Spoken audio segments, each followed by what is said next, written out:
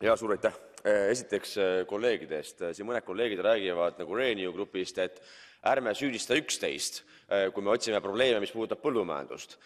mul tekib kohe küsimus, et kui me ei süüdista üksteist, siis te justkui tahate nii-öelda mõnusalt üle minna päris probleemidest, mis on teie tekitatud põllumajanduses ja sujuvalt räägite oma propagandat neli kuud enne valimisi, et siis jälle nagu ära tinistada või meelitada kõik need valijad ja põllumehed, ütlemaks, et küll teie teate kõige paremini, kuidas põllumajandust kaitsta. Mina ei tea, kui palju teist olid möödunud nädalal Euroopa Parlamendis Brüsselis meeleavaldustel, mina olin seal ja ma ei näinud seal vist peaaegu mitte ühtegi liberaali või sotsialisti. Äh, üks kommunist oli, aga enamus liberaalid istusid mõnusalt parlamendis ja mina rääkisin põllumeestega.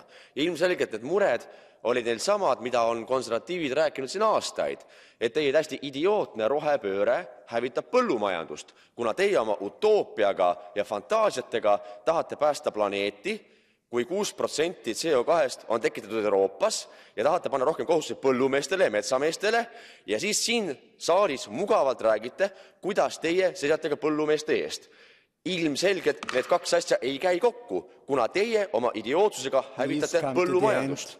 suur aitäh!